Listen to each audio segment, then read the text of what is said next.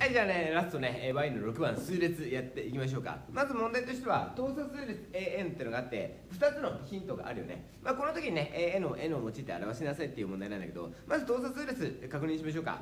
諸項 A1 交差 D とした時の一般項っていうのが AN は A1 たす N-1D ね。OK で今回の問題さ諸項と交差が分かんないよね、うん、なので、まあ、そのまま書きました。あ同じですね。同じです書きました。でここからねまずはヒントを使ってやっていきましょう。まず1つ目のヒントね、A1 たす A2 たす、うん、A3 っていうのが、うん、30っていうのがあるからどんどんどんどん代入していこうね。まず A1 っていうのは諸項だからそのまま書きましょう。A1 たす。次に A2 って書いてるけど A2 ってことは N に何を代入したらいい？2だよね。2, 2を代入すればさこれ A1 たす、うん、2を代入するから 1D だね、うん、つまり D、OK? 同じように A3 っていうのは N に3を代入すればいいから、うん、A1 たす何 D2D だよね。うん 2D となるよね。イコール30あとはこれ計算してあげればさ A1 が3つあるから、うん、3A1、うん、足す、えー 3D イコール30だね。で全部3で割ってあげれば A1 足すうん、B が、うん、10っていうのが求めることができるよね。でもう一個、うん、英語が22より早い。英語が、うん、22より。次はね N に何を代入すればいいの？うん、5だよね。N に5を代入してあげればさ、うん。えー、5イコール A1 足す。あ 4D だよね。4D イコールうん22っていう式ができるじゃない。あとはさこれをさ、うん、1番、うん、2番としてあげればこれ何算すればいい。引き算すればいいね、うん、引き算しよう、えー、丸2引く丸1をしてあげて。えー、これだね、えー、1足す。B が10はいじゃあこれ引き算しましょう。こちら側が。3D だね 3D 右辺が。うん12だね。あつまり、えー D が4ってことが分かったね。あとはまあどっちかに代1番にか、うん、1より。えー1に代入してあげてね、えー、1足す4が10つまりね、えー、1っていうのが6っていうのが分かったね。したがって今さ A の N で表せって書いてるからこれだね。この式。うんこれ星にしようかうん星より。じゃあ代入しましょう。AN っていうのが A1 が6でうん。N-1D が4だね。うん。これを計算してあげれば分配法則して 4N どうぞ。うんプラス2と求めることができますね。OK じゃあ次の問題いきましょう。はい、じゃあね、続いてね、えー、カッコ2番いきましょうか。まあ、カッコ2番の問題が、うん、B1 が3、BN プラス1が 2BN マイナス1って書いてるんだけど、この形ね、BN プラス1イコール数字、BN 数字の形になっている時には、これ全回式の特性型ね。OK、俺は特性型と呼んでます。こんな感じね、AN プラス1イコール数字、AN 数字の形になっている時には、あ時には、このようにしましょう。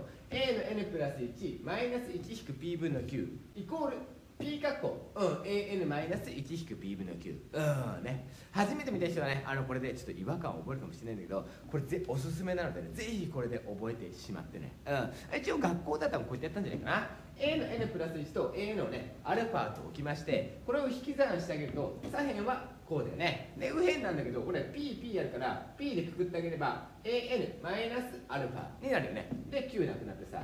で、丸1番の式から、まずアルファを求めるんだよね。うん。P アルファを移行しまして、1-P アルファイコール9だよね。うん。つまりさ、アルファっていうのが 1-P 分の9。あとは、このアルファを丸2番の式に突っ込めば、この形になるよね。うん。この流れで覚えてるんじゃないかな。うん。この過程を全て覚えてるんじゃないかな。だったらさ、これ覚えようよ。うん。一行で済むじゃない。ここがね、もう全カットできるじゃん。あだからここ一行で覚えちゃいましょうって話ね。OK。じゃあ実際にやっていくよ。まずさ、ここにさ、B の、うん、N プラス1イコール、2BN マイナス1ってのがあるけど、うん、ここをね、P と考えるんだ。うん、ここを9と考えるんだ。いくよ。じゃあやっていくよ。BN プラス1いくよ。1引く P 分の9を引けだよ。1引く P が、うん、2だね。P 分の9、うん、マイナス1を引け。こんな感じね。うん。で、この2をそのまま持ってきて、2括弧 BN、もう一回いくよ。1引く P が2だ。P 分の9を引け。うん、こんな感じ。これさ、バーッと長い式がたったの1行で済んじゃったよね。うん、ここに感動を覚えてほしいんだよ。いくよ。うん B の n プラス1マイナスこれさマイナス1分のマイナス1だから1だよね。うん。2カッコ BN マイナスこれもねマイナス1分のマイナス1で、うん、1だでこの形なんだけどこれっていうのが全化式の等比型なんだ。いいかな等比型ね。じゃあ等比型確認しましょう。この形ね。A の n プラス1イコール数字 an の形になっていたらこれっていうのは全化式の等比型でこれっていうのがね an はチョコをかける r の n-1 乗でいいかな、うん、これは等比数列の場だよね。なんだけど全化式の等比型についてはこれじゃなくてこの下の方で覚えてほしいんだよ。いいかな？N たす1の塊は、うん、数字かける n の塊だったら、うん、だったらこれっていうのが n の塊イコール初項の塊かける r の n-1 乗。OK、うん、見て見て見て。これさここがさもしさ n の、うん、塊だとするならば、うん、これを n の塊とするならばこれっていうのが n たす1の塊じゃない？あいいかな、うん、これさ n たす1の、うん、塊じゃない？塊。うん。ってことはあこれ全化式の等比型なんだなってことでこういくんだ。N の塊イコール。N の塊これだね。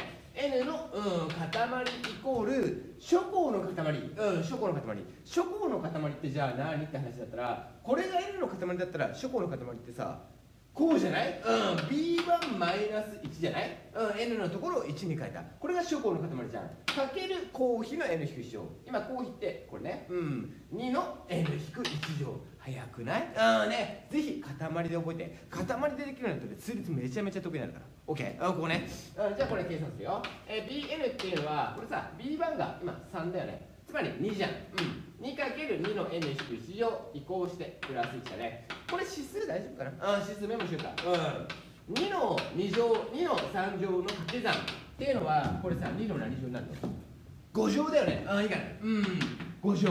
ここで覚えてほしいのは、指数の掛け算は足し算になるってことね。指数の掛け算は足し算だよね。うん。つまりさ、これ計算したら、2の何乗？N 乗だよね、うん、n 乗プラス1となるわけです。OK じゃあ次の問題いきましょう。はいじゃあねラストね。括弧3番やっていきましょうか。まあ括弧3番の問題はまずね、うん、an と bn に含まれる数を小さい順に並べてできる数列を cn と置くらしい。でこの時ねシグマの n1 から50番までの cn を求めなさいっていう問題なんだけどまあちょっと具体化してみました。うん。An ってさ一般項あるから n に1代入したら6だねうん N に2を代入したらうん10だねで N にてててて続くじゃんで次にさ BN 考えてみると、まあ、BN これじゃんうん N に1代入したら2たす1で3だよね N に2代入したらうん、5だよね。このように、てんてんてんてんって続くじゃん。でさ、今さ、CN って小さい順に並べるってことは、これ一番小さいのどれ？あ、5だよね。3だよね。で、その次が、うん、5だよね。うん、で、6でんでんでんでんって続くわけじゃん。で今やってるのってシグマの n イコール1から50ってことだ50番までなんだけどあのこれ B と A が何個ずつ入るかってちょっとこのままじゃ分かんないじゃんじゃあどうしようかなってなってまあ AN と BN 見たらさ BN ってうんこれ指数なんでね指数ってさ最初の方はすごくねちっちゃい数が続いていくんだけど途中ぐらいからブワーって、うん、上がってくるね。うんわーって上がってくるじゃん。ってことは、まあ、B って多分そこまで入んないんだなって。だから多分 A の方がいっぱい入るんだなってことからまずは A の50なんで50だろうってこれさ今50番までじゃん。だから50に設定しただけ。これなのありえないよ。うんこんなのありえないけどね。A の50やってみただけ。え50を代入してみたら 4×50 足す2でさ202じゃん。202じゃあこれはないじゃん。だってさ C ってさ1番から50番なんでね。でさ A の50が入るってことは A の1番から A の50番まで。50個。B 入る少なくない？うんこれは変じゃん。だから B 考えてみようってことで B の7番。適当で適当にやってみた。うん N にさ7代入したら2の7乗プラス1で、まあ、129となります。ちなみに B の8計算したら257になるんだけどさこれまとめてみると CN っていうのは最初の方ちょっと省略しました。点点点点。B の7が129だよね。で次に A の50が202だよね。でその次に B の8が257って書いてみたんだけど今さこの202の A の50ってさこれ入るか入らないかどっち？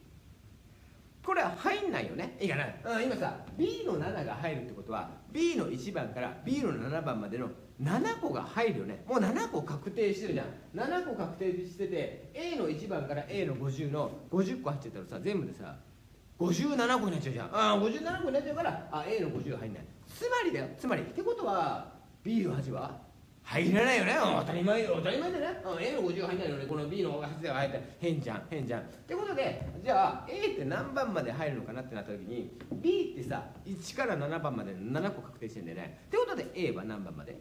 うん、43番まで入るんじゃないのかなっていうのでこれ計算したわけ、うん、A の43で、うん、N に43でにしたら、まあ、174つまり整理するとこなんでね。CN っていうのはちょんちょんちょんちょんちょん。え B の7番まで入ってくれて A の43の174まで入ってくれれば B の7個と A の43個で50個。ああって感じ。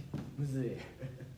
ちょっとむずいかな？ああちょっと難かったかな？まあじゃあ回答書いておこうか、まあ、これはただ考え方だからね。じゃあやっていくよ。まずどんどんどんどんこれ書いていかなきゃいけないけどこれ全部書くのだってだるいからまずこれいこうか。B7B7 計算するよ。はいはい。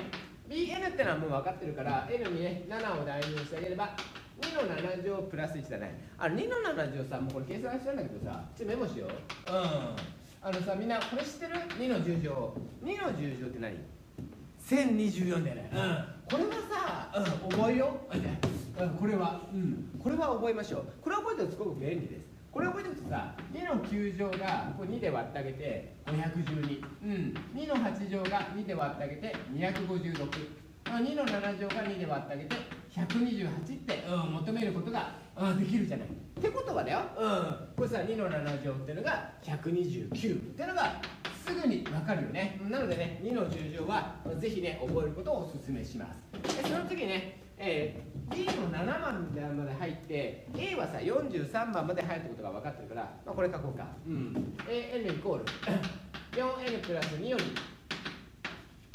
はい、43計算するよ。そうすると 4×43 たす2だね。これちょっと省略していいかな？4×43×2 は、これだね？うん、174。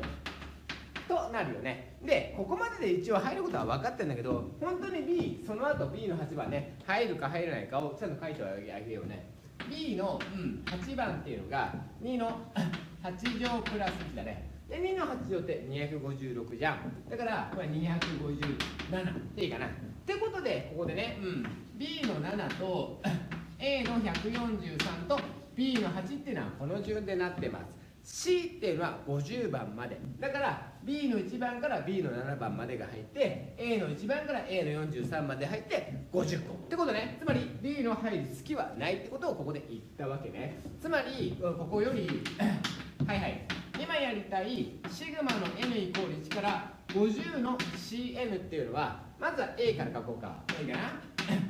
N イコール1から43番までの AN と、うん、シグマの N イコール1から何までの BN7 だよね、うん、7番までの BN ってことが分かるわけ。じゃあちょっとバラバラで計算していいかな。うんこれさ まずこっちからいこう。シグマの AN だけどこれっていうのはね AN っていうのがこれだね。4N 足すになってるから、まあ、これ計算するんだけどさこれさ、まあ、シグマ公式ねシグマの K イコールシグマ K イコール2分の 1A の N たす1を覚えてる人はもちろん OK なんだけどぜひねこれを覚えてしまって。シグマ公式のシグマ K っていうのはさ具体化してみると K が1の時って1だよね。うん。K が次は2の時って2を代にして2だよね。で最後 K に N 代にしたら N じゃん。でこれっていうのが等差数列の和じゃない。ああ等差数列の和ね等差数列の和ってことはここね。うんここが一次式。一次式だったらこれはね全部等差数列の和になんだよ。あなのでシグマ公式使ってみると俺はねここは一次式だったらこれ一次式じゃん。一次式。一次式だったらうんこれは等差数列の和の公式を使いましょうよ。いいかな等差数列の和公式確認するよ。2分の n 括弧 a たす l なんだけど俺はね日本語で覚えることを圧倒的にお勧めしてます。2分の項数かける初項足す末項このがね式にしやすいんだよ。いくよやってみるよ。やってみると2分の今項数っていうのが1から43だから43でね。43はい初項。初項っていうのは n に1代入したら6だよね。6はいはい。真っ向っていうのは N に43代入するから、まあ、これでいいかな。4×43 たす2いいかな。うんであとはさこれ計算していきんだけど、うん、これちょっと省略していい？こうさ 4×43 足す2ってあのこれね174。174と 6だから180だね180つまりこれさ約分してあげて90うんなのであとはこれ計算してさ0 3 9 2 7祝363870でいいかな。じゃあ次にこっち行こうか。シグマの BN 行きましょうか。はいはい。シグマの BN あシグマの BN BN はあこれだね。2の n 乗プラス1だ。はいはい。でまあこれなんだけどまあこれは分配法則した方がやりやすいかな。シグマは分配可能。はいどうも。シグマは分配 OK です。分配法則のようなことができます。はいはいこうだね。でさこれなんだけど、まあ、シグマの指数上まあ覚えてる人はいいけどまあ俺はねこれねシグマは具体化することをお勧めしてます。シグマは具体化。うん、シグマはね具体化することでとても見やすくなります。いいかな？これさ計算すると N に1を代入してみたら N に1ね。代入したら2だよね。うん。次に N に2を代入したら何 ?2 の2乗だよね。2の2乗。はい。はい足す点点点点一番最後ね。N に何でするの ?7 だよね。N に7はい。はい N に7を代入すると2の7乗。ってなるよね。シグマを具体化してあげるとこれって何数列？等比数列の和ってのがすぐに見えてくるよね。もちろんこれ指数で暗記してもいいけど具体化すれば一発です。いいかな？じゃあ等比数列の和の公式確認するよ。これも r-1 分の a1×r の n 乗マイナス1なんだけどまあ俺はね日本語で覚えることをお勧めしてます。公比引く1分の初項かける公比の公数乗マイナス1この方が式にしやすいからいくよ。うん。これね。はいはい。ここね見てね。公比引く1分の今公比って何？2だよね、うん、2, 2引く1分の、うん、次初項だね。初項が2だね、うん、2括弧うん。公比が2だね。2の公数乗公数が7個だね。7個。7個マイナス1となるわけ。OK あ後ろも計算しなきゃね。シグマの7ね、うん、具体化しようか。具体化してあげて N がまず1の時。N1 の時何？あーこれそれがさ0っぽいんだけど違うんだよ。1ね、うん、1、うんね、1隠れてます。いいかな ?1 が隠れてるのは気をつけてね。次に、えー、N が2の時は、1だよね、同じようにね。うん、で、で、で、で、で、最後ね、N が7の時ね、7。7の時も、うん、1。ということが分かるね。ってことはさ、1が7個だから、7でしょ、う、結構すぐ分かるでしょシグマ具体化すれば分かんない時もね結構分かったりするからね。ぜひおすすめです。いいかなじゃあこれ計算してあげてさ2引く1は省略して出たね、うん、2×2 の7乗指数の掛け算は足し算だよね。なのでこれ2の、うん、8乗マイナス、うん、2だね、うん、プラス7はいはい。で2の8乗ってのはこれだね。256256足す、うん、5なので261ってのが分かってあとはここだね。これ丸1番しようか。うん。丸1よりうんこれを足し算しておしまいだね。3870 3870足す、うん、261を足し算してあげまして13うん1444131とうん求めることができますよっていう感じ。うんどうだい？まあここら辺はまあいいとしてまあ最初だよね。最初はちょっとね、まあ、具体化してあげて何番まで入るのかなっていうのを適当にやってくれよ。A の50でもいいし A の45でもいいしね。なんとなく数えてってうんまあ指数はバカでかくなるとかぐらいかな。ああとこれねこれね。これさ結構知らない人多いんだよね。AK プラス B このね一次式。一次式の時には当差の和が使えるからこれ分配法則せずにねぜひねこれ使ってほしいなと思います。あとはね等差数列の和と等比数列の和はこれねうん日本語でこの方が式が作りやすいよっていうお話ね。うん。ということでね、えーここまでにしたいと思います、えーここまでね Y1 番から Y6 番までね長かったと思うけどね、えー付き合ってくださりありがとうございました。また次はね2019年の4月のね高3の模試を配信する予定なので、まあ、それもねぜひね、えー勉強してもらって、えー4月の模試でね偏差値60以上を頑張ってね目指してもらえたらなと思います、まあ、とにかくねここまで付き合ってくださりありがとうございました。ではねまた次の動画でお会いしましょう。お疲れ様でした。